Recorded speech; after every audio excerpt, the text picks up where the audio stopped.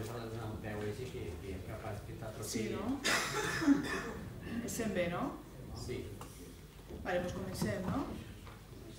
Vale, eh, bueno, presente a Sergi Castillo Prats, que és l'autor del llibre de Terra de Saqueig. És, eh, vos dic un poc la seva trajectòria professional, val? És periodista i escriptor, es va llicenciar en Comunicació Audiovisual per la Universitat de València i va ampliar la seva formació a la Universitat de Barcelona i en la Politécnica de Catalunya. És periodista, comentarista en Más vale tarde i en La sexta noche en, en el canal de La Sexta. Ha treballat per a mitjans de comunicació com El País, en Informació, Televisió Espanyola, Gran Lau, Interviu, El, el, el, el Mundo TV, El Diario.es i la COPE. Ha col·laborat en nombrosos programes de televisió com El Intermedio, Notícies 4 o el programa de Rosa. Eh, ha desenvolupat la seva labor en premsa comarcal i comunicació política. Ha sigut guionista, productor i ha publicat articles en diversos, en diversos llibres i revistes. És responsable de la recerca sobre el sobre el cas de Massa i diversos escàndols urbanístics i de corrupció política a Benidorm i la Costa Blanca, en la qual cosa li ha portat a especialitzar-se en aquests assumptes. En setembre de 2013 va publicar el seu, el seu primer llibre, que és Terra de Saqueig, eh, la trama valenciana del Gürtel, centrada en la figura de Francisco Camps i les recerques en marxa sobre el Partit Popular de la comunitat eh, valenciana. Un poc el que, lo que anem a parlar avui és sobre, sobre el que és no, en aquest llibre, sobre, sobre tota la trama de corrupció que, que, va, que es va dur a terme en, en, la, en el País Valencià durant els anys que va estar el Partit Popular governant en, en, en València. I bueno, jo mm, personalment, eh, a banda de tot el que conta el llibre, perquè la veritat és que a comença a contar un munt de, de, de com va funcionar tota la trama, de diferents, de, de tots els projectes que es van dur a terme en, en València, en Alacant, en Castelló, i com tot això va estar organitzat per, per uns poders polítics que estan en aquest moment en, el, en els diferents governs. Eh, a banda d'això, eh, a mi m'agradaria destacar el treball dut a terme en este llibre, eh, o sigui, més enllà de, de conèixer com un dels partits més grans de, de l'Estat eh, ha operat, o sigui, durant tots els anys que ha governat València, eh, què és el que ha fet, com que és Orange Market, no? que es parla molt d'Orange Market, de, de qui és el Bigotes i tot això, el que més rellevant, o sigui, el més rellevant per a mi és que ens dota d'informació, no? eh, aquest, aquest llibre, ens dona, ens dona coneixement a la ciutadania que dins d'una democràcia pues, mm, pues, ens ajuda a conèixer com un dels partits polítics això, més grans de, de l'estat espanyol eh, fa servir del seu poder garantit a les urnes una volta cada quatre anys per tal d'arrasar amb les institucions públiques. Eh, la reflexió que podem extraure, perquè per a mi el més, el més fonamental és que una volta tens la informació i bueno, en el llibre hi ha un moment que cita al principi del llibre es fa una cita de Stephen Hessel de, de és important indignar-se no? i trobar un moment d'indignació per a comprometre, com, comprometre en la societat. Eh, crec que este llibre t'indignes, però t'indignes en el sentit de, com a ciutadà, per a comprometre en, en, que, en que la cosa vagi millor no? I, i conèixer com, com s'ha funcionat fins ara i com s'han utilitzat les institucions públiques per a, per a arrasar no? en, en el concepte de democràcia i en, el, i en, i en el que podem millorar com a, com a societat.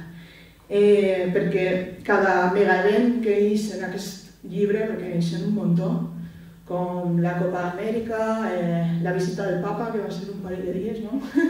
com cada megaevent ha suposat un despilfarro eh, i una merma del benestar social de la població, eh, traduït en problemes en molts casos en els barris on eh, s'incorporaven o, se, o, o es realitzaven estos megaprojectes o megaevents. No? És el cas de, no sé, eh, Fórmula 1 i, es, i, es, i el conflicte en els pobles marítims, no? València. Eh, tot això també com ha, compo- com ha, com ha portat el, la pèrdua també d'oportunitats en quant al desenvolupament social, eh, econòmic i, en definitiva, la millora de la qualitat de vida no? de la gent. Perquè si ara pensem un poc què ha passat en tots aquests projectes faraònics, eh, què, eh, les que queden estan o tancats o, o en, en intenció de vendre's, no? com la ciutat de la luz i la, el sector de la llum de Nalacant, o, o també l'aeroport de Castelló, que no sabem molt bé com, com està funcionant, o el cas eh, paradigmàtic de la televisió pública, no? Caradau, que és un dret com a ciutadans i, i no el tenim. No? Eh, bueno, jo eh, al final eh, que vull ressaltar és que em vaig rellevant eh, la llavor periodística que s'ha fet en aquest llibre, eh, que fa servir la informació com a bé públic eh, perquè la informació, en el meu sentit, eh, en qualsevol cas, i sobretot la informació, la informació al voltant de com els poders públics gestionen el que és de tots, ens, eh, ens allunya del cinisme. No? Eh, en, aquest, en aquest cas del cinisme polític. Quan més informació en tenim, més podrem eh, combatre aquesta apatia i aquest pensar de, del ciutadà com a consumidor i votant cada quatre anys. No? i més, i més quan més informació tenim i més coneixem com es gestiona tot el que és de, el que és de tots, eh, més, ens aprovem, més ens aprovem a ser ciutadans actius i, i compromesos amb la nostra societat, fomental per a la llavor democràtica. Aquest tipus de llibres, com el de Terra de Saqueig i la llavor periodística com la de Sergi, ens fa donar un pas endavant com a ciutadans, desenmascarant el mite, el mite del polític omnipotent que ha sigut representada en aquest cas en València per, per Francisco Camps i, bueno, i per un partit polític en concret, però podria ser qualsevol altre. No? Eh, jo, sense més, li dono la paraula a Sergi Castillo i, bueno, enhorabona, en totes formes. Vale? Bueno, moltes gràcies, Gemma, per les teves paraules i gràcies al Centre Cultural Castellut per eh, les jornades que heu organitzat perquè la veritat és que el programa és molt atractiu i penso que molt interessant per la tasca que esteu realitzant i per haver comptat amb mi per a, per a una vesprada com avui parlar de, del tema de la corrupció. Moltes gràcies a tots vostres per haver vingut i per eh, dedicar una vesprada de divendres en un temps tan poc que ens fa a tancar-se en aquesta sala pues, a, a parlar o a escoltar eh, parlar d'un tema tan poc atractiu, no? del que estem tan farts com és la corrupció, no? i això pues, demostra molt el seu compromís, que tenen un gran compromís per la, per la nostra terra i, i això també crec que vincula molt el que són les jornades, la sostenibilitat en la corrupció, que és eh, un poc el, el cuidar i l'estimar a la nostra terra, cosa que no han fet eh, els que hem tingut tants anys governant. No? Eh, per tant, moltes gràcies per, per, la, seva, per la seva assistència. Eh, en aquests moments, en, eh, en la comunitat valenciana tenim a 15 exconsellers imputats o investigats o condemnats per corrupció. 15 companys de Francisco Camps, dels gabinets que ha tingut el seu, el seu govern, eh, o sigui, eh, la cúpula, dalt de tot, 15 membres d'aixòs executius de, de diferents, perquè en un no, no arriben a cabre 15, normalment són 8, 10 consellers, doncs han tingut que ser diversos, diversos equips.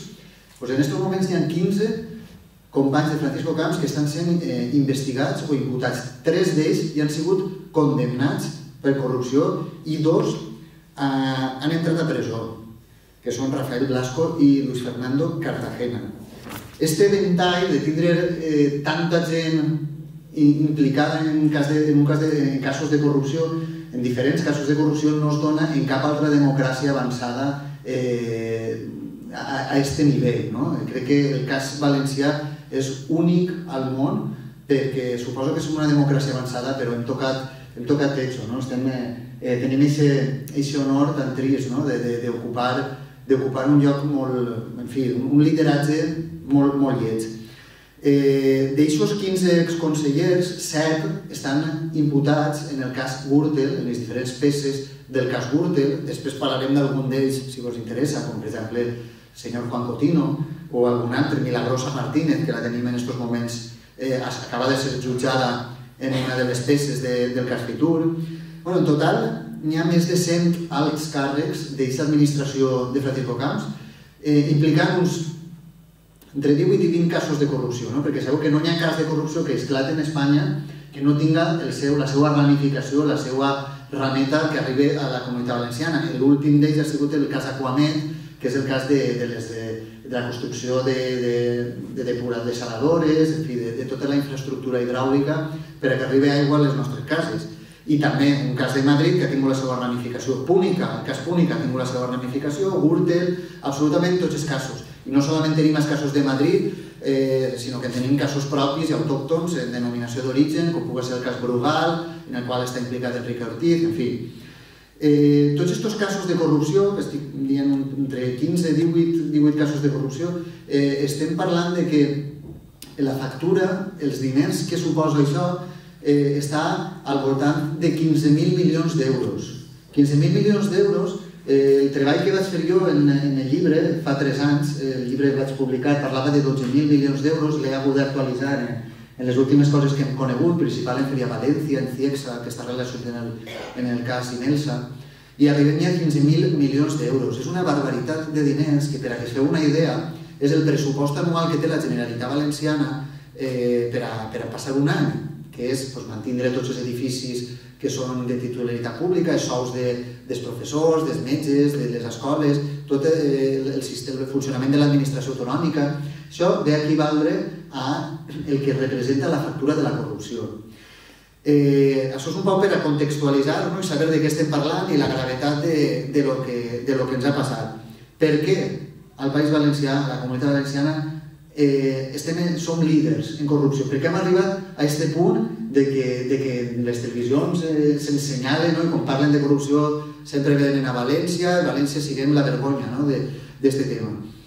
Pues és un poc el que tracto d'explicar al llarg del llibre i ara vos vaig a fer una xicotet, un xicotet resum sense ànim d'avorrir-vos ni cansar-vos massa perquè crec que el més interessant és que després puguem parlar d'algun cas en concret, d'alguna anècdota i de que vosaltres pues, també pugueu en fi, fer un, un xicotet col·loqui. Jo crec que el, el fet de que, de que siguem líders es deu a tres a, a, tres, eh, a tres coses fonamentals, no? que eh, tres, tres eh, coses en les que el Partit Popular ha treballat molt intensament des de l'any 1995, quan Eduardo Zaplana va arribar a la Generalitat, i que s'han eh, eh, desenvolupat eh, fins al seu límit d'una forma totalment exitosa. No? Diguem que s'ha creat una estructura que ha permès que la corrupció s'instal·le eh, de forma totalment còmoda. Eh, I ara vos, vos entre a parlar alguna, alguna d'aquestes qüestions. No? Les xarxes clientelars.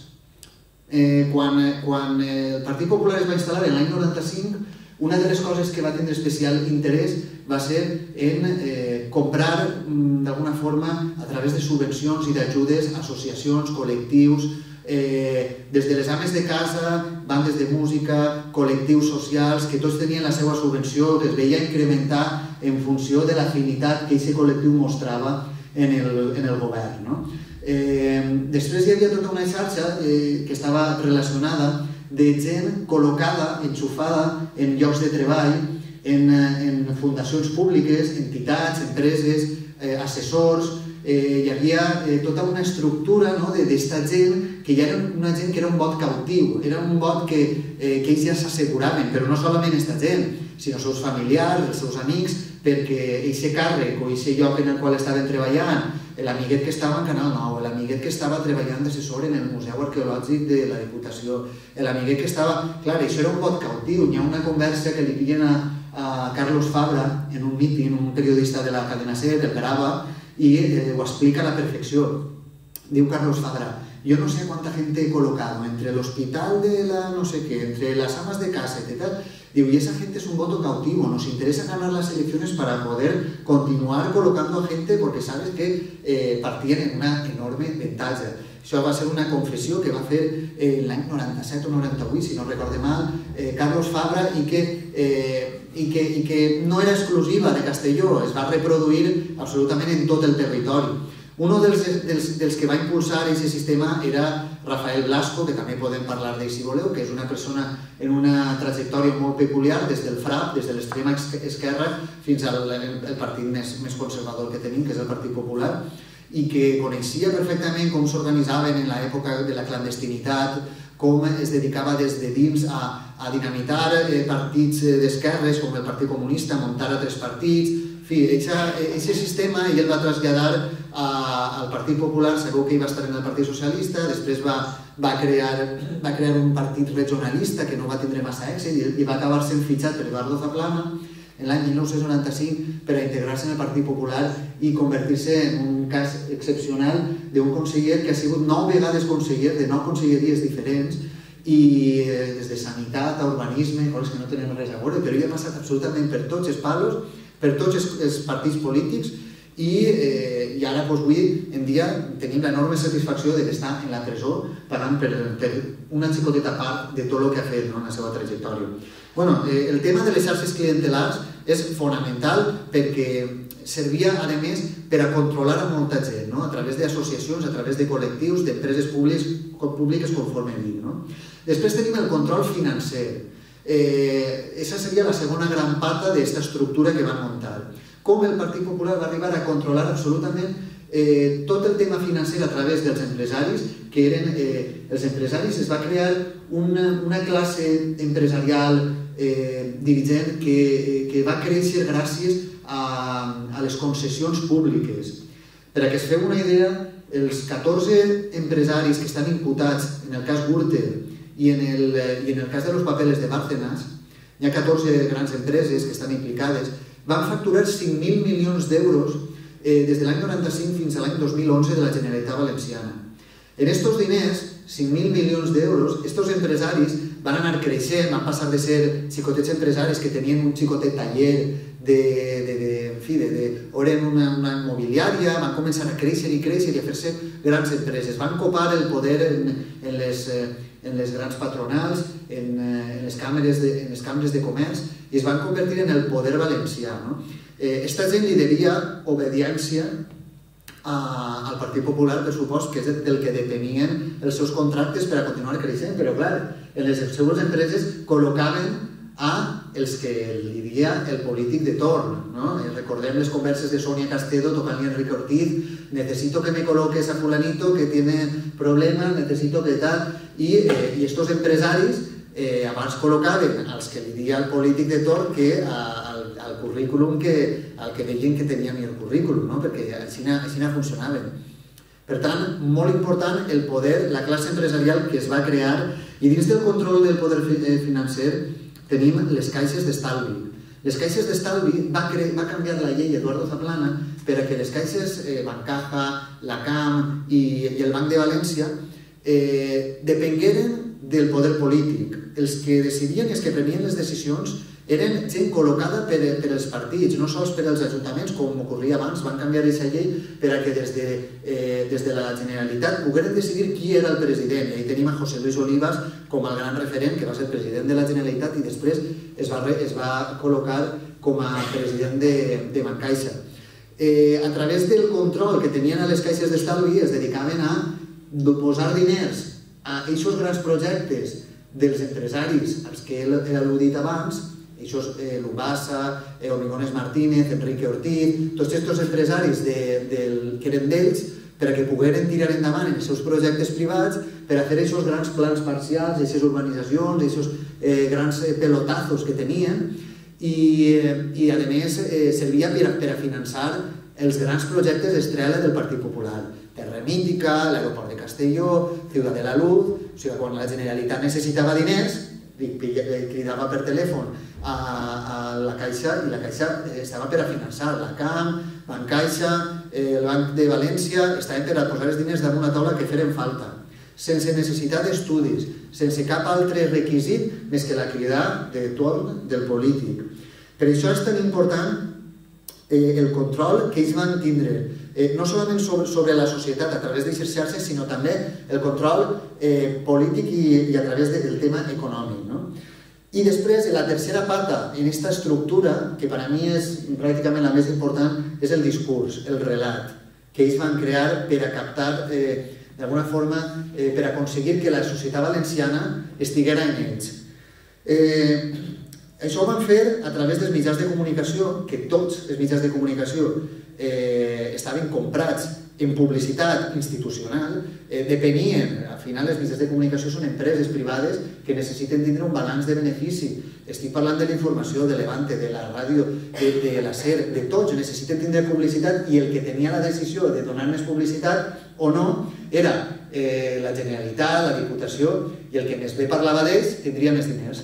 I eh, podien, hi havia moltes formes de pressionar aquests mitjans, o bé podien fer-ho a través de les subvencions o de les eh, les campanyes de publicitat institucional o bé a través de les empreses, Enrique Ortiz, Lubasa, aquestes empreses que tenien menjant de la seva mà perquè eren les empreses que anaven a tindre els contrats per a construir instituts, col·legis o el que fora, que eren diners que, que eren diners públics. No?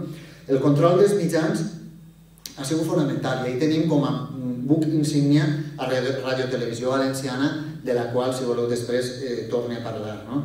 perquè eh, eh, eh, ha, sigut, ha sigut una peça clau per al control de la societat civil valenciana a través d'aquests programes eh, com Tómbola en un primer moment o com l'Alqueria Blanca, programes que captaven eh, les classes més humils no? d'audiència, de gent, eh, de, gent de, de les comarques, gent que potser no estava acostumbrada a, a sintonitzar un informatiu en concret per a, per a documentar-se o tindre certa informació, col·laven sempre missatges eh, missatges fidels al seu règim, no? per, a, per a captar aquest vot. Eh, en què consistia aquest relat del Partit Popular, el relat eh, que han inculcat des de l'any 95? El relat que ens venien és que eh, durant els anys anteriors, València, País Valencià, la Comunitat Valenciana o el Regne de València, conforme eh, vulgueu dir, eh, no pintava res. Eh, havien passat de llarg els grans esdeveniments de, que havien transformat Espanya, les Olimpiades havien anat a Barcelona, la Expo havia anat a Sevilla, Madrid, ciutat cultural, cada ciutat eh, tenia el seu moment de glòria i en canvi en els governs de Felipe González, etc., eh, València havia passat desapercebuda. Això no podia ser. Eh, els valencians eh, necessitàvem el nostre espai en el món i en la història. No? I ahir va ser on ells van eh, apel·lar al nostre sentiment, al, van tocar un poc l'autoestima i, i, van saber dir que els valencians mereixíem un lloc no? a la història. I ells van vendre allò de que eh, os hemos colocado en el mapa, això, Rita, recordarem totes, gràcies a nosaltres València està en el mapa. Quasi no existia res entre Jaume i, i, i Francisco Camps o entre Rita Barberà i, i la Mare de Déu de, dels Desemparats en València. No? Ells eren figures històriques que, que, que quasi sense ells no existia la ciutat. I, I el cas és que això va calar, aquest missatge va calar.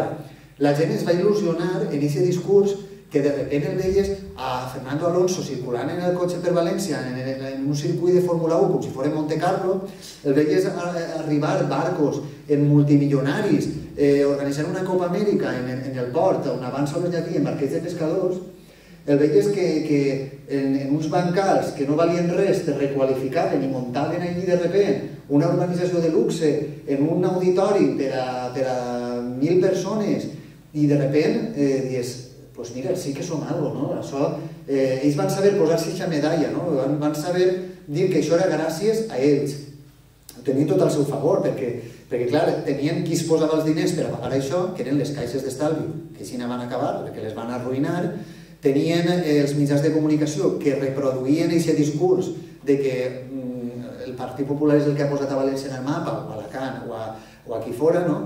I, i tenien, ho tenien tot, no? Això, a més, fins i tot ho reproduïen els presidents del club de futbol, del València, de l'Alacant, van posar a, a, Enrique Ortiz de president de l'Hèrcules, eh, tots els pobles, van posar els constructors, a la gent que tenia, eh, els presidents d'associacions que ells sabien que eren seus, a reproduir aquest missatge que anaven sempre dient-lo. Això anava calant en la societat. Eh, per això és tan important explicar com es va crear aquesta estructura per a fer que el Partit Popular fora i aquest règim, perquè més ja de parlar de partits, jo crec que així cal parlar d'un règim, eh, d'un règim polític, eh, fora algo invencible.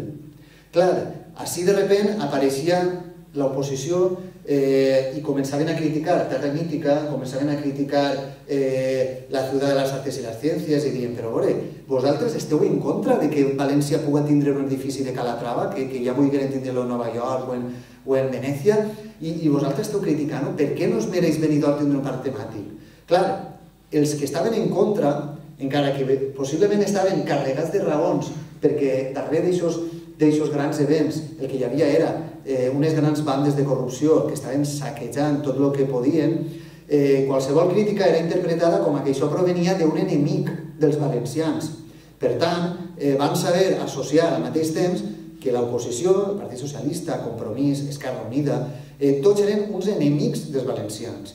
Eh, a més, tot això van saber magistralment, perquè això és una obra d'art, el que van fer, relacionar-ho en un discurs que en València calava molt bé, com era l'anticatalanisme, no? Eh, que, era, eh, eh, que venien de fora a atacar els valencians Clar, eh, les Olimpiades, voleu que se'n vagi a tota Catalunya, voleu que se'n vagi a tota Madrid, Zapatero, recordem, Zapatero no nos quiere, Zapatero nos margina, nos lleven el aigua, eh, com es va manipular el agua para todos, aquell lema que van saber acunyar també era un lema, un lema perfecte que s'estudia en, en els manuals de, de, de manipulació, no?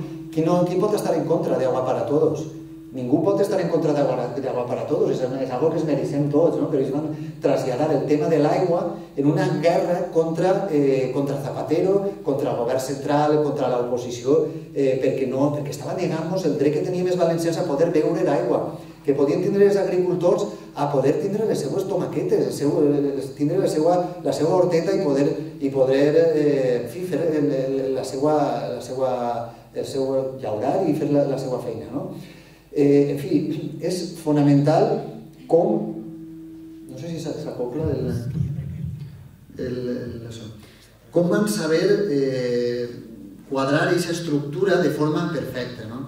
Eh, els mitjans de comunicació, eh, al igual que els mitjans de comunicació que, que estaven en contra o que, que treien aquesta part tan lletja no? o que, no, que tan, tan poc atractiva, no tenien publicitat, a poc a poc van anar molts d'ells tancant, els periodistes que estaven lluitant contra tot això i traient casos de corrupció i barallant-se en els seus jefes perquè els jefes no volien publicar-ho i tenien dubtes eh, doncs, a poc a poc aquests periodistes mal pagats que estaven cobrant sous de misèria per fer eh, 12 hores de feina al dia i veien com els seus companys de Canal 9 estaven cobrant 3.000 euros per parlar bé del govern, per fer-li la, la pilota al, al, a l'alcalde o al diputat de torn estava vivint molt millor, doncs clar, eh, va anar molt, a poc a poc va anar caiguent tota, tota, tota aquesta oposició, no? fins al punt de que va haver un moment que no teníem oposició, que el Partit Popular no tenia rival.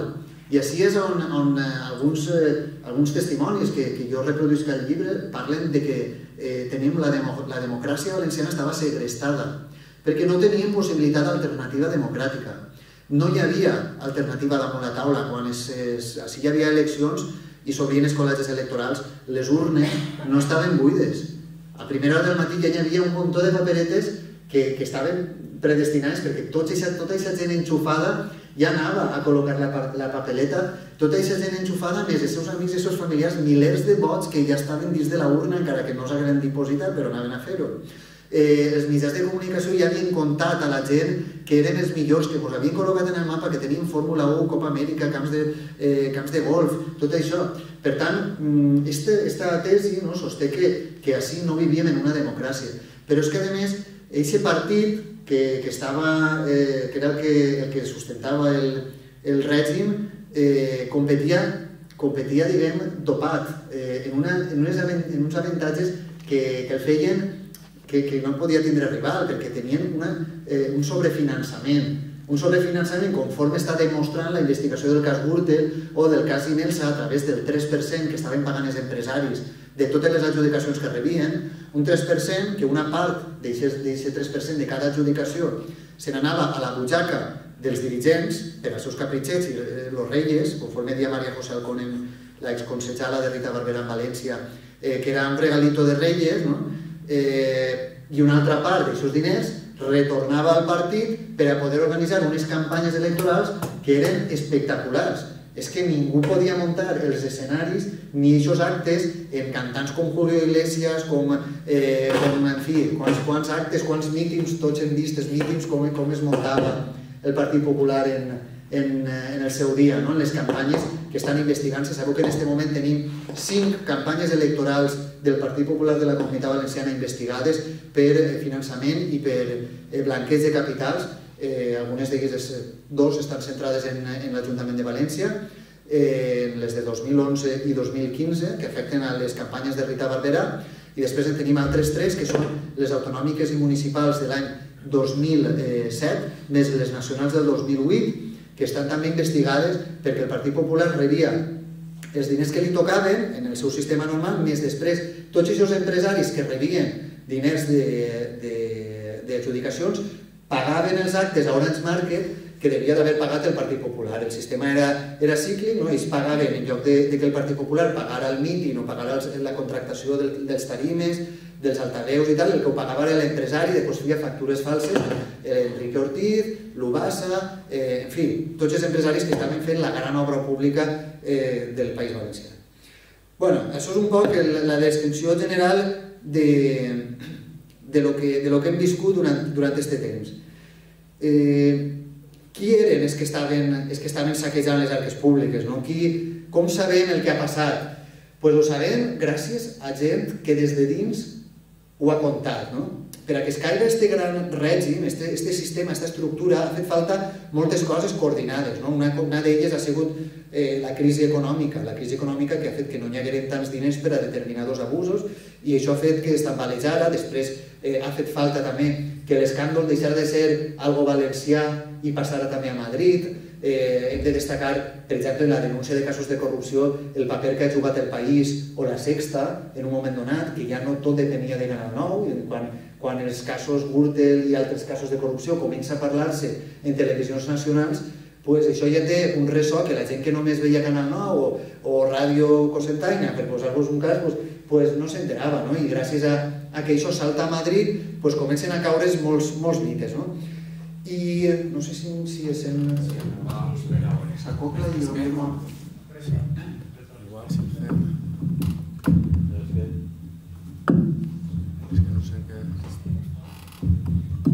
O si no, igual podem apagar-lo, perquè jo, com, eh, si ens sentiu bé, igual... Sí. Perdona, però és que No, no, estava sí, sentint no. i vaig a parar. Sí, sí, molt a l'hora de buscar. Continue. El, el, eh, una de les coses molt importants és que des de dins ha hagut, hi ha hagut gent que hagi contat el que estava passant. No? I així tenim casos com l'exconsejal del Partit Popular en Majaraonda, José Luis Peñas, que és l'autor de, del Pralet del meu llibre, una persona, per mi, és un heroi. Jo eh, vaig conèixer i em pareix eh, que és una d'aquestes persones que el reconcilien en el, en el sistema, no? perquè ell formava part de la trama Gürtel, era amic de Francisco Correa, del Bigotes i de tota esta, esta quadrilla i va arribar un moment que per el que fora va decidir passar-se al costat dels bons. Va agarrar una gravadora, se la va col·locar en la butxaca i eh, va gravar una sèrie de converses en tots ells de quan estaven tramant algunes de les operacions tal, i aquestes que creen de hores de gravacions ho va portar a la Fiscalia Anticorrupció, va parlar en el jutge Baltasar Garzón i es va posar en marxa tota una investigació que ha derivat en, eh, en el cas Gürtel i en tot el que ara sabem eh, en la caiguda, entre altres coses, d'un president com Francisco Camps que va haver de dimitir per, per el cas Gürtel. No? Eh, després hi ha altres personatges que també han sigut els llepons, no? els xivatos, els que des de dins han contat coses, com Marcos Benavent, el yonqui del dinero, no? que eh, coneixerem perquè últimament és el cas més recent que tenim.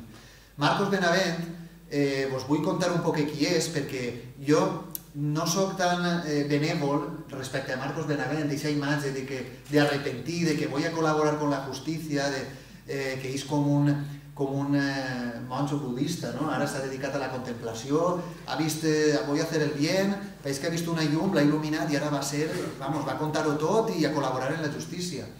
I en realitat eh, ell no ha tingut més remei que fer això, perquè el cas és que eh, ell estava gravant des de l'any 2006, quan ell estava robant diners, ell estava gravant tot el que estava passant, gravant Alfonso Rus, a tots els seus companys del Partit Popular, hores i hores de converses. Per a què ho gravava?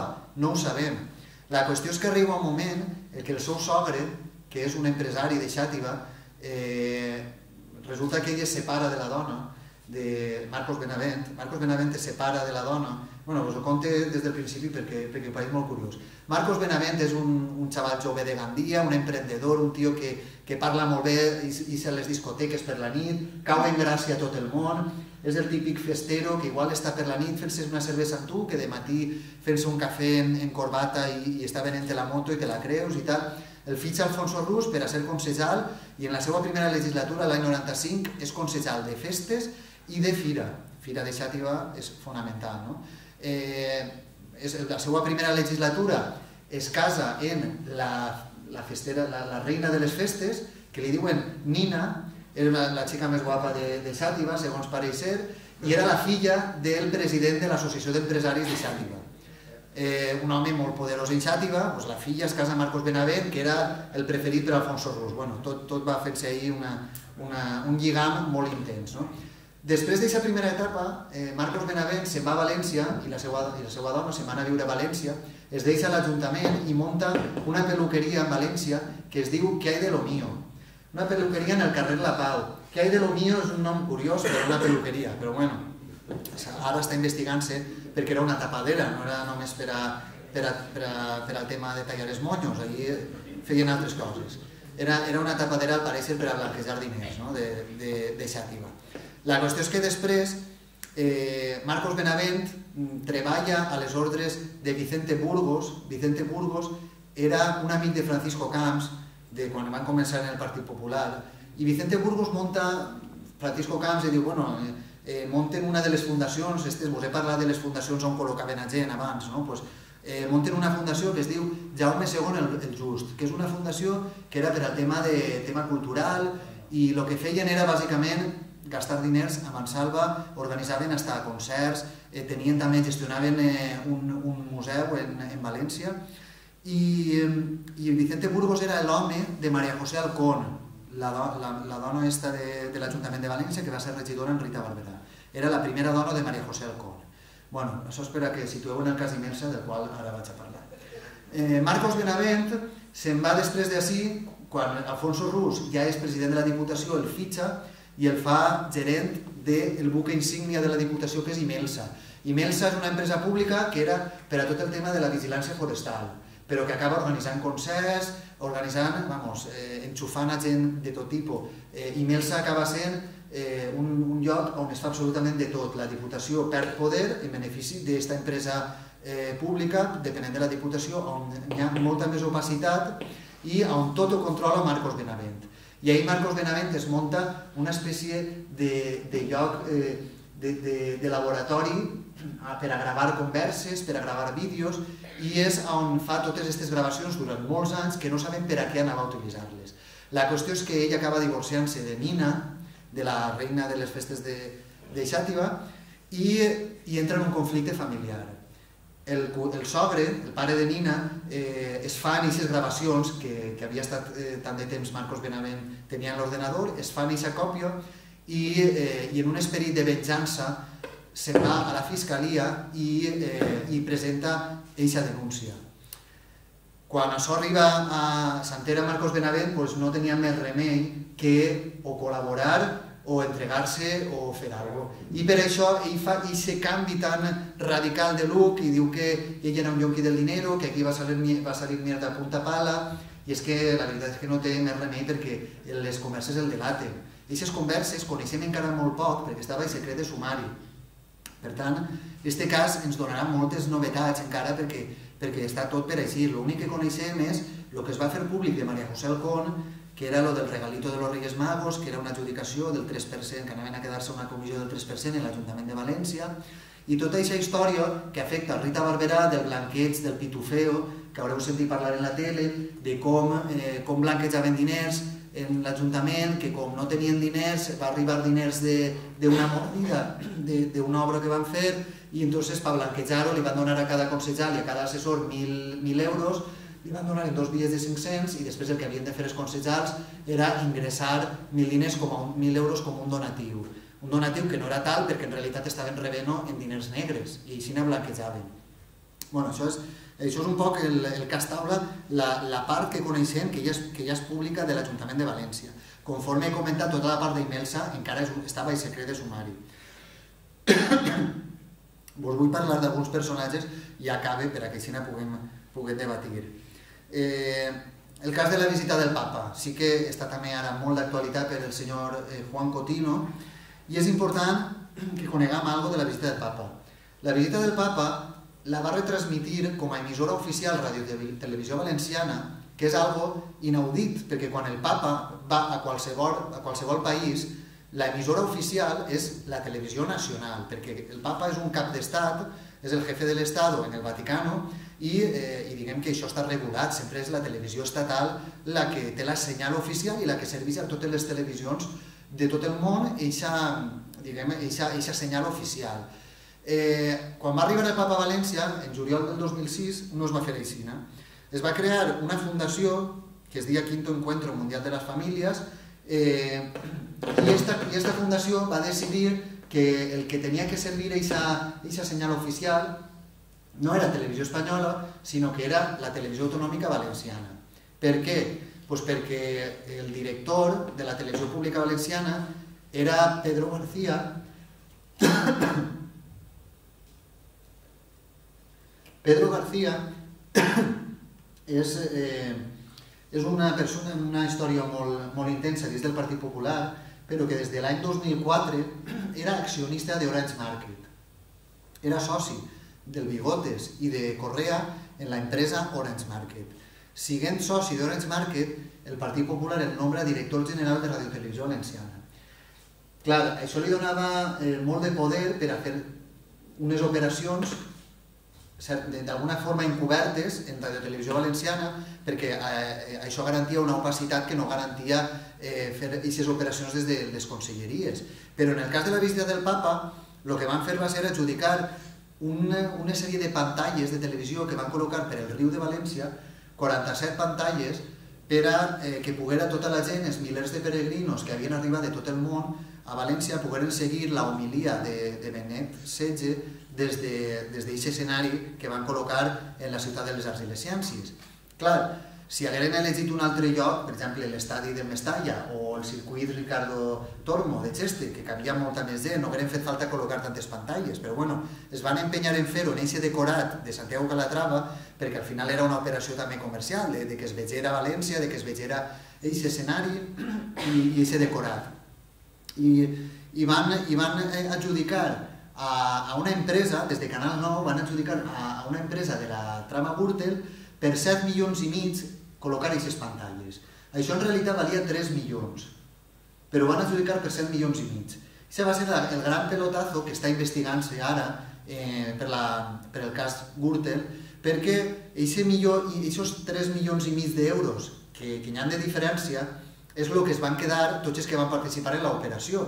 I ahí entra Francisco Correa, que era el cabecilla i que es va quedar en un milió d'euros, eh, Pedro García, director de Canal 9, que es va quedar en mig milió d'euros, i un Mini, que li van regalar, un cotxe, eh, i es van quedar pues, el Bigotes i altres. No? Es van repartir la comissió, depèn del, de l'estructura, poder que tenien, pues, es van repartir cada, eh, Correa, eh, Correa més i la resta de forma proporcional. I per això van, van, eh, van adjudicar a Canal 9 la visita del papa i va ser l'emissora oficial. Eh, quin paper tenia el senyor Cotino en tota, en tota aquesta història? Pues en principi no devia d'haver-ne tingut cap, perquè Juan Cotino era conseller d'Agricultura. Agricultura, visita del papa, no tenen res a veure. Però, però clar, eh, com era una persona molt ben relacionada amb l'Església, eh, sabeu que és un, un dels membres més destacats de l'Opus Dei, pues Francisco Camps va decidir que ell fora el que estiguera en aquestes reunions de la Fundació Quinto Encuentro Mundial de les Famílies per a que es prengueren les decisions. Era el delegat de Camps allí i els testimonis que, que han testificat davant del jutge han dit que era el que en realitat manava, el que tallava el bacallar, han dit era el factotum, era el que decidia com s'havien de fer les coses. Per això ja la, la Fiscalia Anticorrupció demana 11 anys de presó per a Juan Cotino per organitzar aquesta visita, que pareix que és una eixida eh, prou indecent no? per a una persona que ha fet gala d'un comportament cristià durant tota la seva trajectòria i que fins i tot va col·locar un gran cristo de fusta damunt de les Corts Valencianes per ajudar el càrrec quan va ser anomenat president a proposta del Partit Popular. I, i després també us vull comentar, per acabar, el, el tema d'Urdangarín, de, del cas Onós i Iñaki Urdangarín, per a que vegeu la misèria de la gent que se n'ha aprofitat dels nostres diners, dels diners dels valencians. No? Eh, Iñaki Urdangarín, una de les fundacions que va muntar dins de l'Institut Onós, va muntar una fundació per a que els diners, per a demanar diners a, a ajuntaments i a diputacions, etc, per ajudar a xiquets malalts de càncer a practicar esport, no? per a una forma de que els xiquets pogueren tindre ahir una eixida i pogueren practicar esport. I, i aquests diners mai van arribar a aquesta fundació perquè que ells no van poder practicar esport, perquè era una eh, fundació fantasma. En realitat el que va fer va ser captar els diners eh, en l'excusa de, de víctimes, eh, de, de persones malaltes de, de càncer.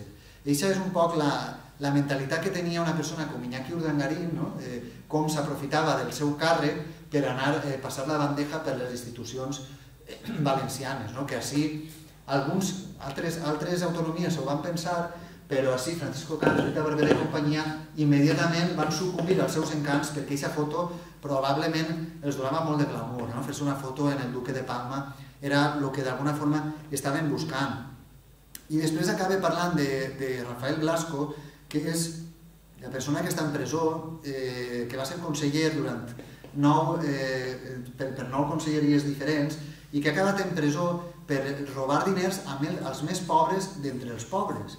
Eh, quan després de molts anys de lluita vam aconseguir que hi hagueren uns fons de, dins dels pressupostos de la Generalitat per ajudar al tercer món, per ajudar a les persones més necessitades, hi havia unes partides al voltant de 5 milions d'euros que eren per a programes de cooperació en països com, eh, com Nicaragua, com Haití, eh, països d'Àfrica, eh, programes que eren per ajudar a dones, eh, dones menors d'edat infectades, violades infectades de sida en Àfrica, per exemple. Allà hi havia un, un programa d'uns diners que no van arribar a estar, a estar mai, eh, a, a ser destinats mai a aquestes dones, perquè, perquè la trama en la que participava i dirigia Rafael Blasco se ho va gastar comprant-se pisos, eh, garatjos, eh, locals comercials i yates, fins i tot en, en Miami. No? I crec que això és el més delesnable, no? el més ruïn que ha pogut fer en, en, eh, en la nostra administració, no? robar a la gent que menys té per a, per a capritxos. I, i demostra un poc la, la catadura moral dels que han estat ahí, aprofitant-se per a perpetuar aquest règim, però a més per a perpetuar aquest règim, eh, per, a, per a el règim en el qual ells podien continuar tenint poder, per a clavar-se alguns dinerets a la butxaca. I, i això em pareix, em pareix que, que indigna i conforme comentàvem al principi eh, mos provoca eh, una indignació que crec que hem de ser capaços de que no es quede ahí, sinó que la que tenim que transformar aquesta indignació en ganes de canviar la societat no? i en canviar les coses. I afortunadament hem, hem aconseguit entre tots tombar eh, castell que havien muntat, eh, que, que, que caiguen no? i que estiga investigant-se i que aquesta gent estiga pagant per lo que ha fet. I és cert que costa molt, que la justícia és lenta, que, que alguns d'ells, pues, per desgràcia, es lliuraran perquè no hi ha les suficients proves per a que entren en presó o perquè els casos eh, en els que s'han vist involucrats han prescrit i ahir també doncs, hi haurà que veure per què les lleis estan fetes així i probablement hi haurà que reformar-ne en algunes d'elles però bueno, el, almenys tenim que tindre la satisfacció de veure com algunes d'aquestes persones que venien a este poble o a molts altres en alfombra roja, que es portaven pràcticament en Andes, els feien palmes, eren, eren els reis, doncs ara estan eh, vivint de forma eh, almenys indigna, no? que no poden eixir de casa perquè la gent els insulta i almenys jo crec que això pues, és un plaer, un xicotet plaer que tenim que disfrutar, de que hem aconseguit pegar-li la volta. I, eh, I això és bàsicament el que vos volia contar i ara a partir d'ara jo crec que podem entrar en un xicotet debat. Bueno, pues jo crec que després de tota aquesta exposició, moltes gràcies. La veritat és que, com hem dit al principi, no? són un munt de casos, una... en el llibre eixen pues, una barbaritat i tot és un entramat, no? que tot el món està relacionat en tot el món, bueno, en plan, ja fa el concret, a voltes, no? I, i bueno, no sé, eh, si voleu començar a, a, a preguntar alguna cosa o, o concreta sobre algun cas o algo que, que us interesse o que genere cert debat, de lo que ha parlat Sergi. Eh, sí, Per començar, sí. suposo que una pregunta que tots tenim en el cap és els casos que coneixem són casos que, que, que han eixit perquè hi ha proves i tot això, no? Però m'imagino que tu eh, coneixeràs molts altres casos que a lo millor no han iniciat la llum pública per falta de proves. De quin percentatge de casos des que coneixem dins de tot l'entramat corrupte què és el que es, què és el que es coneix? Un 20% o que, que tu calcules, vaja. A veure, sí, el... el... Jo m'imagino que, que el, el il·luminat este ha, si no hagués eixit ell, no sé si haguem conegut moltes de les coses que estem coneixent, però que costa molt de, de isca la veritat, o que isca en tots aquests casos, no? Hi haurà molta cosa per ahí darrere que no, que no, que no ix, que es queda impune. Dona tu compte, per exemple, Carlos Fabra, Carlos Fabra eh, li demanava al fiscal 11 anys de presó per diversos delictes, entre ells està suborn, prevaricació i frau fiscal. El van absoldre de suborn i, i de prevaricació i el van, el van condemnar per frau fiscal, perquè els delictes fiscals, o sigui, el que, el que no paguem a Hisenda, no, o el que ells no paguen a Hisenda, és el més fàcil de demostrar. I ells va fer una tasca eh, excepcional per part de, de l'agència tributària per a demostrar que Carlos Fabra eh, havia estat estafant a, a, a l'Estat. No? Eh, va tardar 10 anys en ser jutjat, Carlos Fabra, va tenir al seu favor tot el que podem imaginar, eh, perquè tenia molts amics dins, el, el mateix president de l'Audiència Provincial de Castelló era un amic íntim d'ell. Eh, van, van arxivar dos vegades el cas i finalment es va poder lliurar de dos de les acusacions més grosses que tenia. I, i el, fort, lo fort, lo més fort de la sentència és que la sentència reconeix que Carlos Fabra té 3,3 milions d'euros que no es poden justificar d'on han vingut. Li han aparegut en els comptes 3,3 milions d'euros, però no se sap d'on han vingut. Sí que se sap que com ell no ha tributat a Hisenda per aquests 3,3 milions, pues el condena, perquè no ha tributat i no ha pagat el que devia a Hisenda i li s'ha condenat, li s'ha condenat per frau fiscal, però no per haver rebut ingressos que, segons, eh, segons l'acusació, eren ingressos procedents de, eh, de, de pagos per, per gestions que havia fet ell, de, de, diguem, de compensacions d'empresaris i tal, a canvi de gestions que havia fet Carlos Fabra per donar llicències, etc. Però això no s'ha no comprovat. En canvi, l'altre sí que s'ha demostrat. Per això, en aquest exemple de Carlos Fabra, eh, podem veure lo difícil que a voltes és arribar a la, a la fi en un cas i que pues, hem de conformar, eh, per desgràcia, no? en veure-lo entrar en presó, que ha estat 17 mesos, que 17 mesos per una persona com ell, que ho tenia tot amb ell i era allí en Castelló, pues, mira el que era, pues ara està privat de llibertat.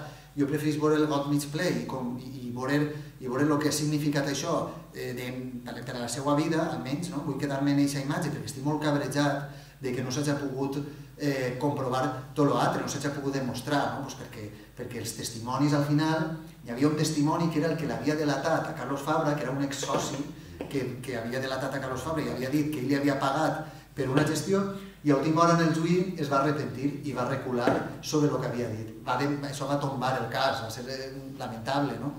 Però bueno, això és una de les coses. Respecte als casos que, que dius del que coneixem i el que no, ara afortunadament, a l'haver un canvi de govern, està tenint-se accés a molts expedients. Hi ha moltes coses que s'estan revisant i que probablement eh, hi, haurà, hi haurà notícies que estan eixint de forma eh, progressiva. No? I, I hem vist que hi ha una persona com per exemple Gerardo Camps, que va ser totpoderós vicepresident econòmic del Consell i que continua a dia d'avui eh, actiu al 100% com a diputat i com a candidat a la, a la, com, com a candidat a la, per, per al Congrés dels Diputats per Alacant, encapçala la llista eh, del, del Partit Popular, si no ho recorde mal, o va de número 2 en, en, en, en aquestes pròximes eleccions. No? I Gerardo Camps, eh, Gerardo Camps té damunt la taula eh, unes qüestions que hauria estat realment preocupat perquè s'ha tingut accés a tots els gastos que ell feia quan era conseller, perquè ell, a més de ser conseller d'Economia, ell era president de la Societat Proyectos Temáticos, que era Ciudad de la Luz, eh, Terra Mítica, etc. i era president de la Ciutat de les Artes i les Ciències. Què vull dir en això? Que ell passava dietes, s'anava a dinar un dia, passava la dieta com a president de la Ciutat de, les, de la Luz. Un altre dia passava la dieta com a president de, de Terra Mítica. Un altre dia com a conseller i s'estan acumulant una sèrie d'informació sobre les despeses que hi va ocasionar durant els seus anys que, que almenys pues, és per a, per a, per a preocupar-se. No? Tot això sumat pues, és igual com el cas Rita Lix.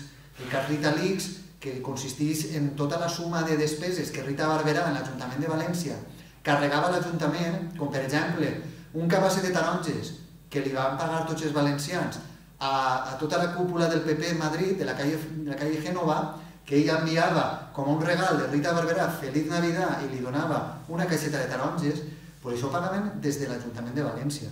I això no es pot fer, això és un abús total, perquè no és un gast, no és una despesa protocolària, eh, és, és un capritxo, no? un, un detall que fa ella a nivell personal. Eh, i, això, I això tot està investigant-se, de fet està pendent la imputació també de Rita Barberà per aquest tema. I, igual com este de Gerardo Camps, hi haurà moltes coses, moltes coses que anem a conèixer. Eh, sí que vos puc anticipar que les gravacions de, de Marcos Benavent, que són encara secretes, eh, són, eh, vamos, van, van a marcar un abans i un després perquè, eh, perquè demostren moltes coses. Així era una corrupció, no, era una corrupció totalment generalitzada. No estem parlant ja d'un cas d'una la depuradora de València o, o la Diputació del Museu Arqueològic, no, no. Així estem parlant d'una qüestió generalitzada de tot, que absolutament tot tenia el seu peatge. I això vol dir que, que avui, si tenim 43.000 milions d'euros de dèficit la, la comunitat valenciana, doncs és per algo.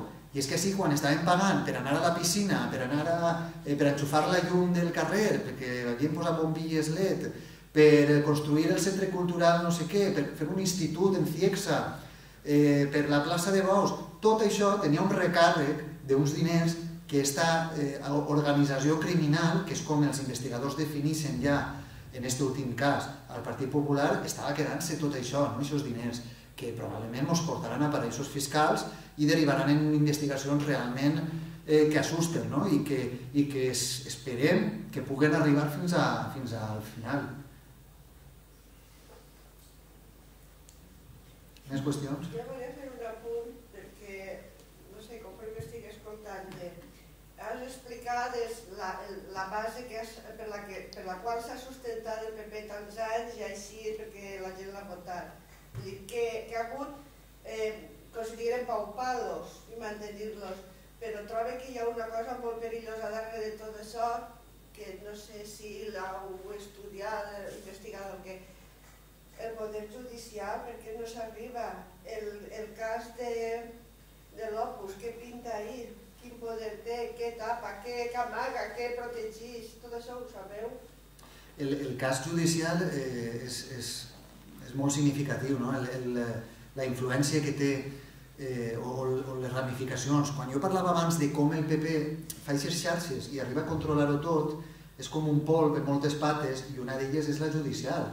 De fet, el, el que va ser president del Tribunal Superior de Justícia de la Comunitat Valenciana, valenciana eh, Juan Luis de la Rúa, en, va fer unes declaracions públiques en les quals ell reconeixia que no hi havia una paraula suficientment eh, apropiada per a reconèixer el grau d'amistat que tenia en Francisco Camps, perquè era més que amic. Això ho va dir el mateix president del, del tribunal que va jutjar a Francisco Camps per el cas d'Estratges. Eh, ahir van haver moltes eh, coses que, a veure, Francisco Camps va resultar absolt per el cas d'Estratges en un, per un tribunal popular eh, que hi ha moltes coses a tindre en compte, no? Per què va ser un tribunal popular i no un jurat conformat per tres magistrats, que seria lo normal, no? perquè eh, van aconseguir reconduir el delicte a, una, a, a un cohecho passivo impropio que sí que podia ser jutjat per un tribunal popular. Però es queda molt clar, aquest tribunal popular, si tu pillaves en aquell moment, any 2011, eh, una mostra de la societat valenciana, a voleo, no? feies un sorteig, que t'havia de dir? Però és que en aquest moment, eh, per tots el que t'he dit abans, de com creen aquesta estructura, és que el 60% de la societat eh, era, era votant del Partit Popular i a més carregar de raons perquè eren els que havien col·locat en el mapa, perquè estaven donant feina, etc etc. I perquè el Camps era, un, Camps era una víctima que al final va aparèixer com una víctima que per tres trajes veges tu, pobre home, per tres trajes no bo que és, que és bona persona.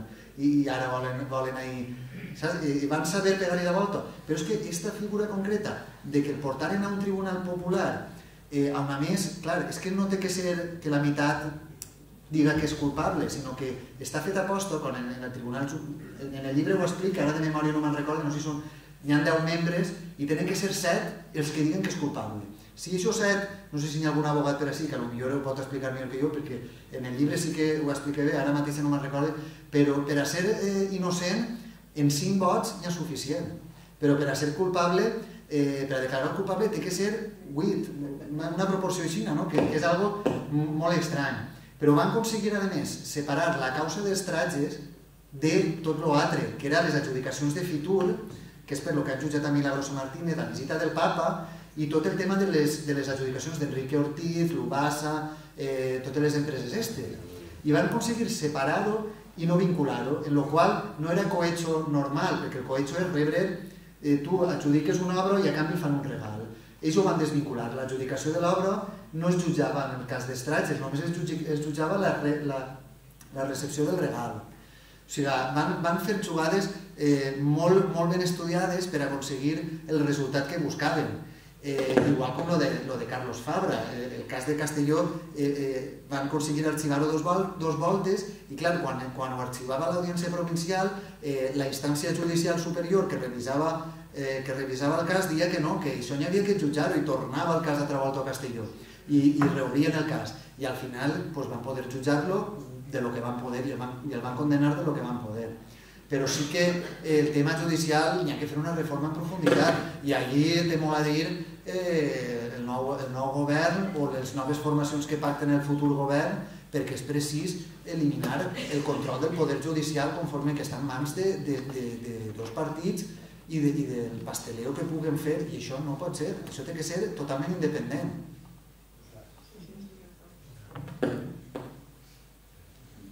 Bueno, no sé, jo crec que de lo que estàs parlant, a mi el que m'ha paregut així per tot el que s'està dient i un poc el que diu ella, no?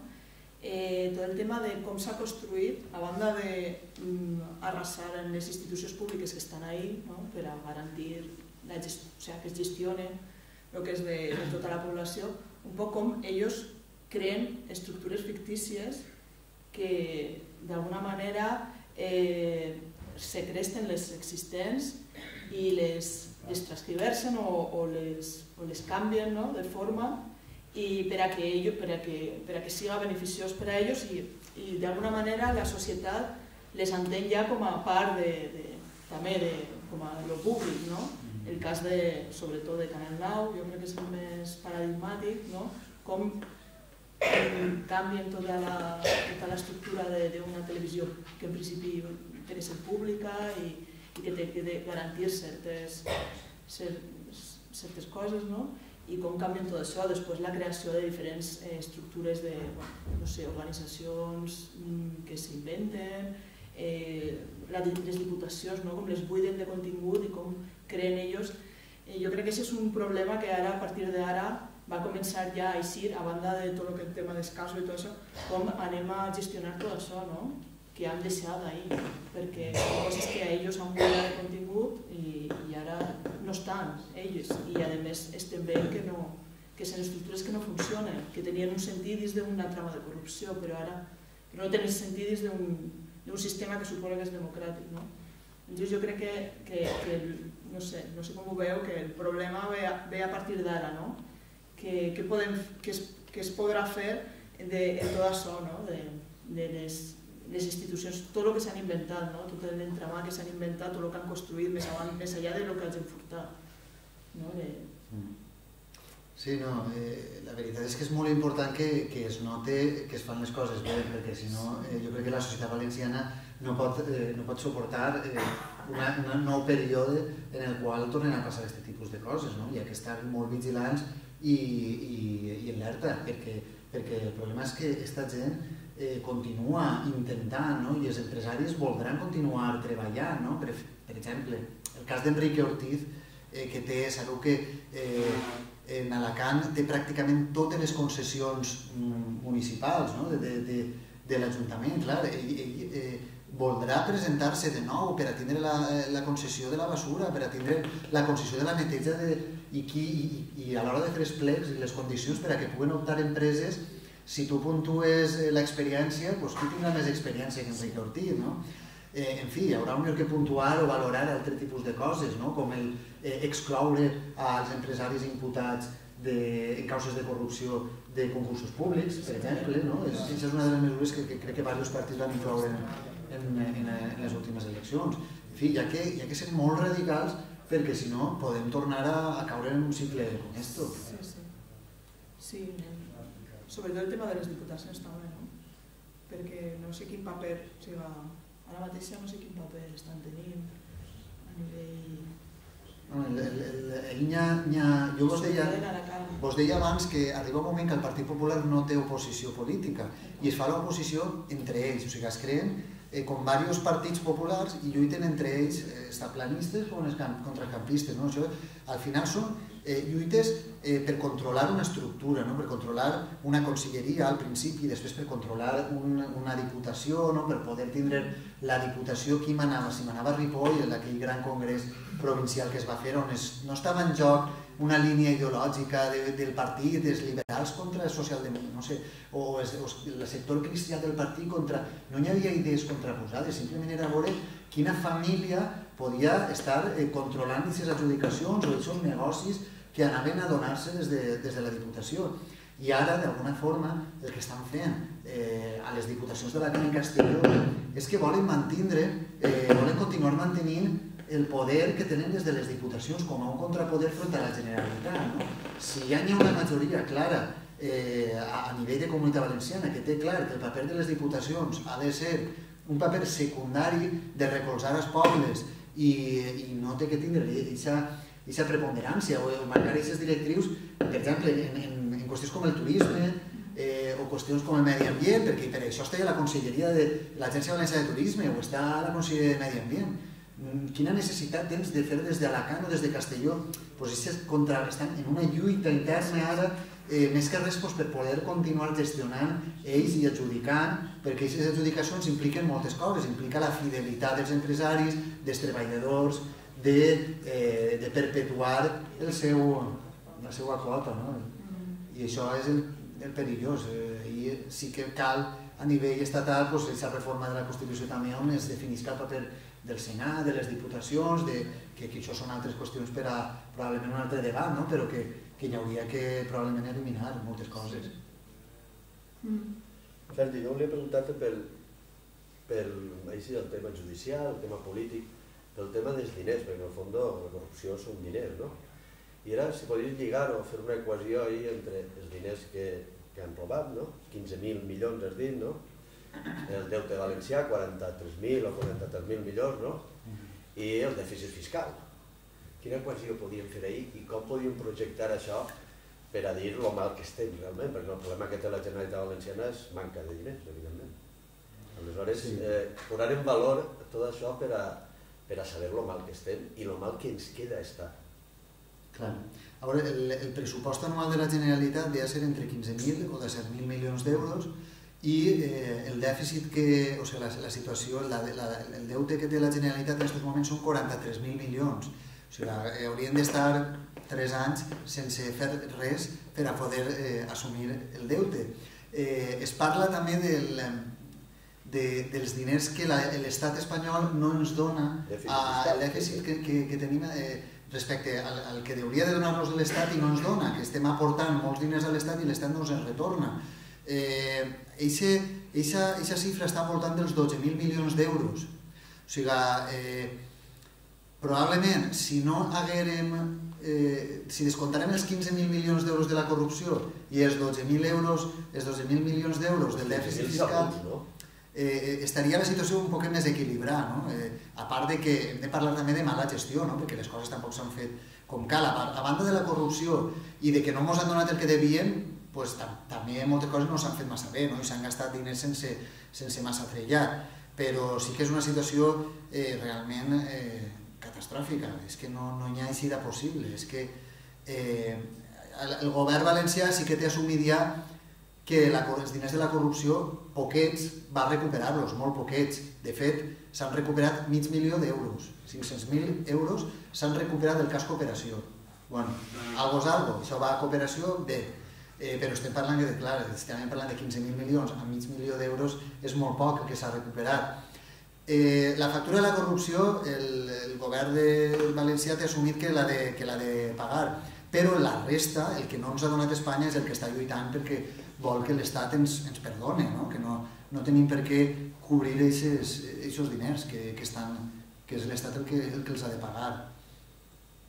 Jo soc molt pessimista al respecte. Sí. La, la mateixa ens parla de deute il·legítim, no? és un deute És a dir, és 12.000 milions d'euros. 12.000 milions d'euros, eh, és, eh, eh, a veure, és que hi ha molts, hi ha molts conceptes a tindre en compte. El, la, el famós eh, grup d'experts que va contractar el Partit Popular abans de, eh, per a fer un, treure una xifra no, de quin era el dèficit del, dels diners que estàvem aportant a l'Estat i que no devíem d'haver aportat, era, el dèficit fiscal eren 12.000 milions d'euros. No? I, eh, I aquesta és la xifra que, que, està, que està barallant-se, que és el que ens hauria de, de, de condonar, no? el que ens hauria de perdonar l'Estat. Però, però clar, eh, igual com nosaltres, els valencians, hem donat aquesta xifra, doncs ara hi seran els catalans, els andalusos, tal, i si Espanya té ja que, que complir una sèrie de requisits també de cara a Europa, jo ho veig molt negre. Sí, eh? Jo volia, volia dir que en una Generalitat endeutada, en una Generalitat sense finançament, sense diners, ara els mitjans de comunicació del règim faran com en Venezuela. Faran que, malos que són, que estem passant fam, que, que mira que bons que eren els altres, i, i els mitjans de comunicació que fabriquen opinió en base a sus interessos, els interessos del poder.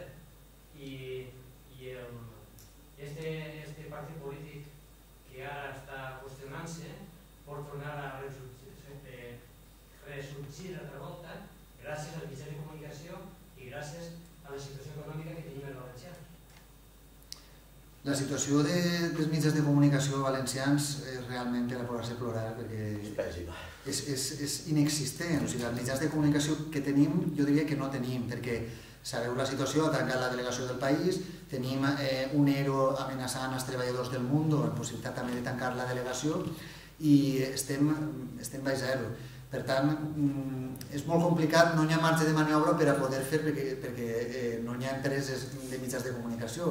Realment poc, poc poden fer, excepte la informació, eh, no, no, hi ha, no hi ha molta força per a poder imprimir aquesta ideologia no? o poder fer que, que canvi la balança. Jo crec que és més, es pot manejar tot més des de mitjans nacionals, des de Madrid, és on els mitjans estos que comentava jo que, que és important com han aconseguit eh, trencar aquesta barrera, parlar dels valencians i parlar de lo que estava passant així, de corrupció, la cadena SER, el País, la Sexta, això va fer, eh, ens va fer molt de bé en el seu dia per a eh, donar a conèixer el que estava passant. Ara podria passar el contrari, si Madrid, eh, aquestes empreses tingueren aquests interessos, per supost, perquè al final eh, els mitjans de comunicació són empreses que necessiten tindre un balanç de resultat.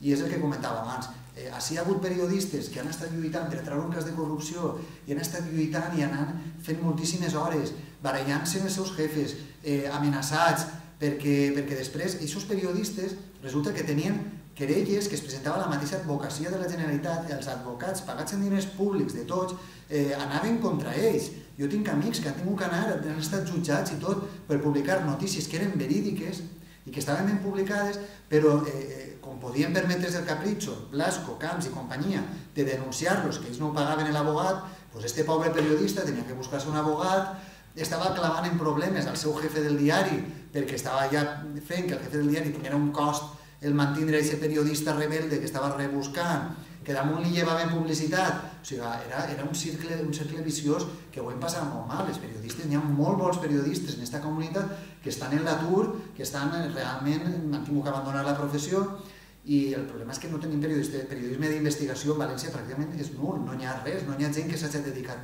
a, a investigar. Tenim 3-4 persones que es poden comptar en, en, i, i és gent que té que complir la seva roda de premsa diària, d'anar a cobrir la notícia i després, si té un poc de temps, pues, es dedica a, a rebuscar, però, però ho tenim molt mal. I això ens ha fet molt de mal i és tot culpa d'aquesta estructura que van crear. Perquè els els periòdics, els gratuïts, els digitals, tots aquests que estaven fent-li propaganda al PP, això sí que han funcionat molt bé. I, i molts periodistes que jo conec han viscut molt bé, s'han fet xalets adossats, s'han fet eh, casetes, s'han fet de tot, perquè, perquè tenien molts diners, perquè tenien el seu sou i a part tenien un sobresou, sobres, que era conforme pagaven en Canal 9 quan anaven a, a, a de tertulianos i a Ràdio 9 i, i estaven treballant en les províncies, en, en el Levante, en el, en el periòdic que fora, eh, fent la crònica de lo bé que estava a València, que, que estaven venint moltes coses, i això sí que es cridaven, es cridaven i després se n'anaven a la tertúlia.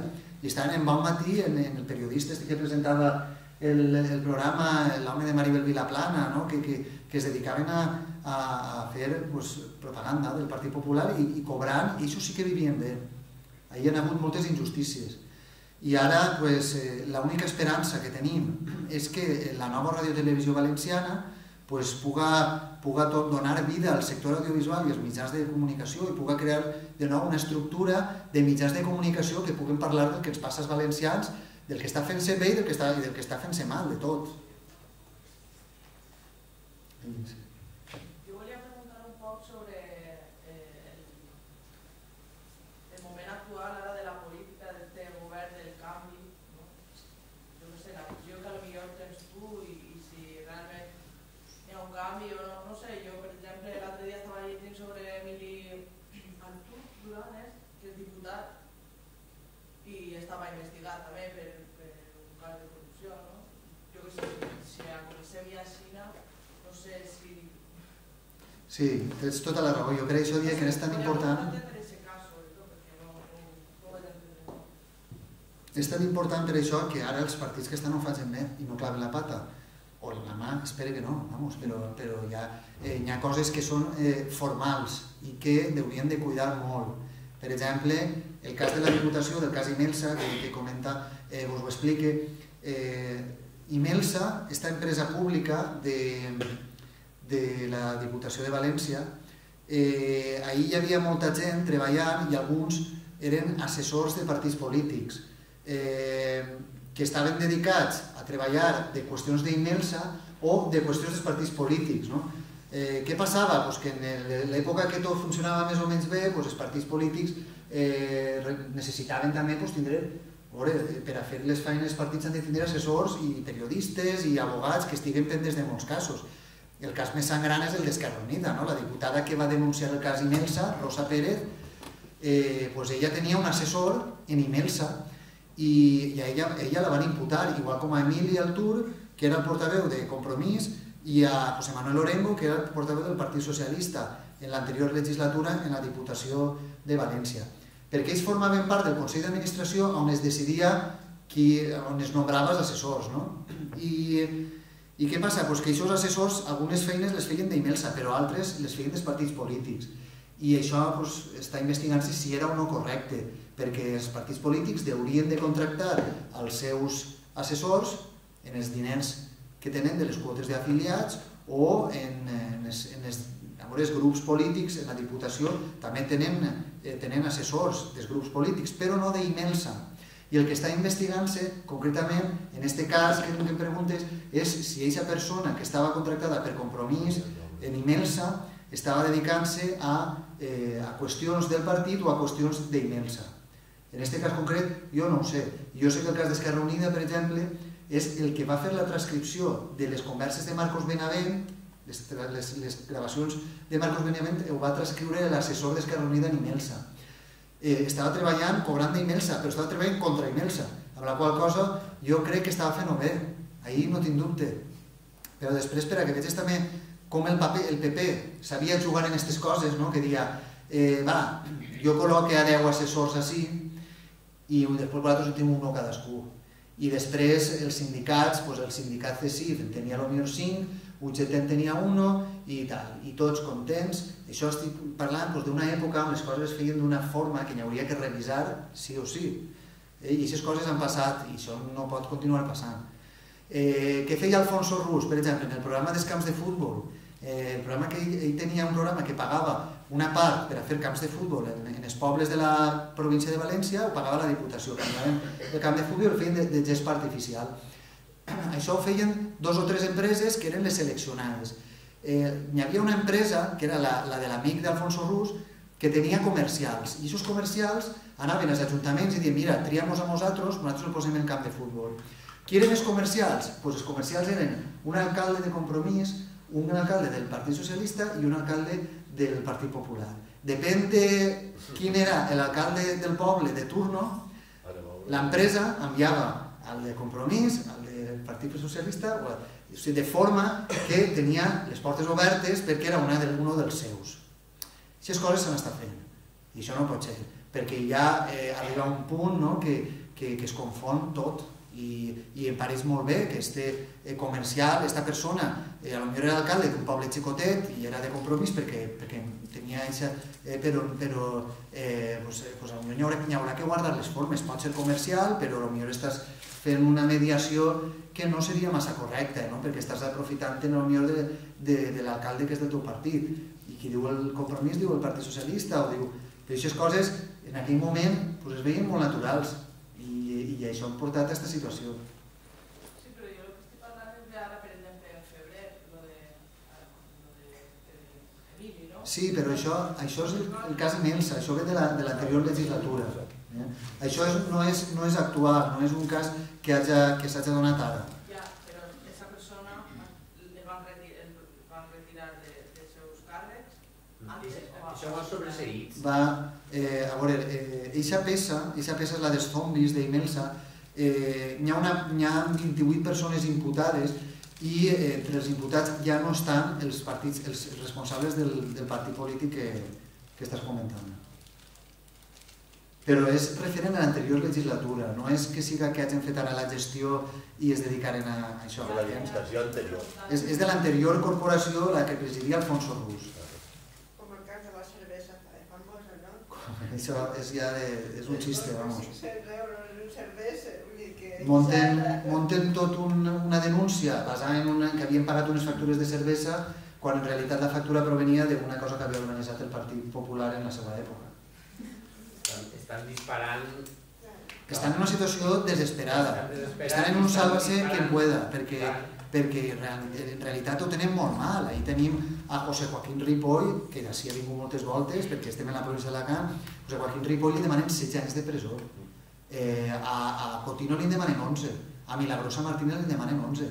Eixa gent, eh, eixa gent ara va disparar i es dona igual a tot, ells el que volen és salvar-se, perquè estem en una situació pues, que, que no és fàcil per a ells, esteu tenen tots els béns embargats, els, els béns que tenen dels que poden fer ús. Si en tenen en paraïsos fiscals no, no se sap, pues, no, no es poden fer ús i no, no estan embargats, però, però estan en una situació molt desesperada i es comet, fa que cometen estos errors que a mi em pareix tan divertit com lo de la cervesa. Ho podeu explicar lo de la cervesa? Sí, a veure, va, va haver un, eh, farà ara un mes que, que va denunciar el Partit Popular que s'havien gastat, crec que eren 3.000 euros, en una, en una recepció en cerveses. Cerveses d'una marca de València, que era una marca que havien, era un abús, no? perquè era, eh, en fi, en cerveses el, el, tri- el tripartit de l'Ajuntament de València. Eh, I efectivament s'havien pagat ara aquest gasto, però era un gasto que corresponia al govern del partit, a l'anterior govern de Rita Barberà. I s'havia fet en aquell moment, estava pendent de pagar-se Meses es havien Sí, de si no digues lo que eres, però per la de cervesa en general, que ara que ho has explicat, Sí, sí. lo que... Sí. i van haver de reconèixer-ho. És que, eh, a més, van posar un nom, no era Rita Lix, no sé si era Cerveza Lix, no, va posar un nom molt en plan eh, el gran cas de corrupció de, del tripartit de Joan Ribó. I en realitat no era això, era... Però ficades de patadisses ja n'han fet. Ja n'han fet. És que estan buscant a veure on agarrar-se, a veure on agarren els demés, però estan picant la gamba contínuament. En, la plaça de Paus, eh, eh, el, el 23 d'abril, També va va... passar el mateix. Ells, ells mateixos havien votat a Havien favor votat a favor ells de cedir la plaça a, a Acció Cultural i després tiraven bomb, bombes de, de, de, de, acusant com a que li havien cedit la, la plaça a l'Acció Cultural als catalanistes i ells mateixos havien votat a favor. I són coses que no ens en agarrar.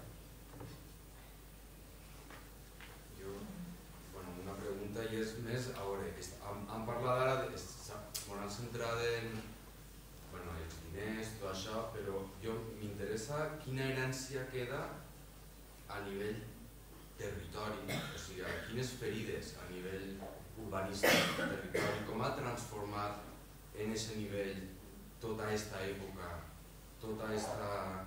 Perquè, clar, diguem que es van juntar tota aquesta corrupció en una època també de bombolla de construcció, diners a xorros, eh, projectes faraònics, han parlat d'ells, però com queda el territori? Eh, quines cicatrius queden? Que es, es pot gestionar d'alguna manera tot això? Es pot revertir? No sé si m'explico el que vull dir. Home, no és l'aspecte dels diners que s'han endut, sinó de l'herència que queda a nivell de... urbanístic, més bé, o...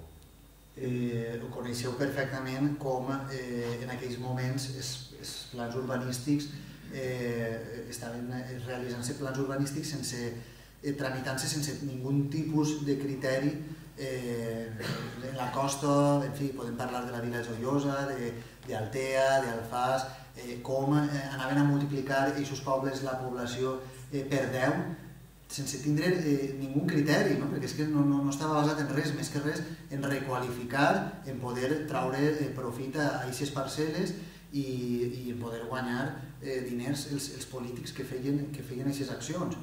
Eh, hem vist com van començar moltes a treballar, mol- moltes d'aquestes urbanitzacions, a construir eh, eh, a construir carrers, a col·locar-se les faroles i després a l'hora de col·locar els edificis doncs ja va, esclatar la bombolla i, i tenim barris totalment fantasma, no? que, són, que, que, que estan plens de rates i plens eh, d'herba perquè no han arribat a, a construir-ho. Eh, això serà en realitat és, és un problema greu. És que tot es va fer igual, no? el, el, el, el, el ter, terra mítica, com es va construir terra mítica sense, en unes previsions totalment manipulades de que anava a haver una previsió de, de, de visitants que no es va complir mai, no? Eh, o la ciutat de les arts i les ciències, quina necessitat de construir l'àgora, per a què? Eh, Gastar-se 100 milions d'euros en un lloc que no té cap utilitat, perquè no tenia, en el seu origen ja no tenia cap utilitat, era un edifici, l'àgora era una plaça tancada, una plaça per a 10.000 persones, però quina necessitat anem a fer ahir, no? Eh, això no es, va, no es va pensar. Ara sí que hi ha coses que, que es, poden, es poden anar reconstruint no? o, o repensant, per exemple, l'àgora. És, és el cas que em ve, que em ve ara al cap, no? ara eh, es vol fer una espècie de, de museu eh, de museu de les ciències com, com el que té la Caixa a Catalunya no? o alguna altra ciutat, no? està pensant-se quin ús li se dona a, a aquest edifici que està buit, que només s'ha gastat per a tres ocasions per a fer l'Open de tennis, per a fer un desfile de modelos i per a fer un míting del Partit Popular, en, en el míting de Canyete de, de, de les europees que, que van anar en autobusos, els militants que van anar a aquest míting en autobusos que va pagar una de les constructores que estan investigades en el cas Imelsa i que no, i que no va pagar, el Partit Popular va pagar eh, 10.000 euros per un lloguer que valia 40.000 i, van fer, es van fer una rebaixeta prou, prou important. No? Pues L'Àgora hi haurà que buscar i fer alguna cosa, no pot estar així en l'edifici, tot i que l'edifici no està acabat, perquè falta encara una inversió de 3 milions d'euros per a fer el remat i, eh, i, i n'hi ha que fer altra vegada la, el trencadís, que el trencadís, igual com va passar en el Palau de les Arts, està caigant tot i n'hi ha que tornar-lo a fer. Eh, I això requereix una inversió. Però eh, en el territori, què podem fer en aquests en eixos plans parcials, en aquestes grans urbanitzacions que anaven a fer-se? Pues, eh, això és un problema greu. No sóc jo qui per a, per a pensar-ho. Jo crec que això requereix una, una reflexió molt més profunda. No? De, I vosaltres en aquestes jornades segur que, que, que podeu profunditzar.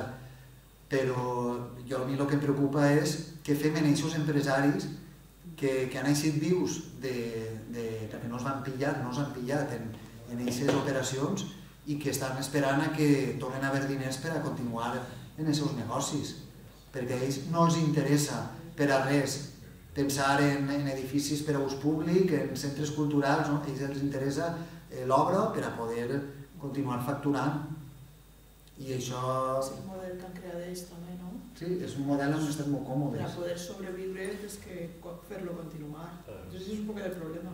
Jo crec que no sé si els partits polítics que estan en la posició en aquest moment, que no estan, vamos, una opinió personal, eh? no sé si que penseu que no estan a l'altura, jo crec. No sé si ara mateixa, per a agarrar tot això, eh, tindran que posar-se les piles molt. I com tu dius, eh, han ser prou precabuts perquè van estar mirant-los molt més que el que van estar ells quan estaven a la posició els, els, els que estaven governant, no? però molt més. Perquè qualsevol cosa que, que facin, el mínim, va estar però super mega in, eh, in, És que- vigilat. Perdona que, que el talli, és que em ve al cap el, el tema d'IKEA en Alacant, no? Sí. eh, que, que afortunadament sembla que, que renuncia, renuncia Enrique Ortiz, o té ho té realment mal, perquè té un govern en contra, a més, que no, que no podrà fer-ho, i això almenys pues, allí encara no s'ha Sí, posat el que en passa és que pareix que, que sí que n'hi ha...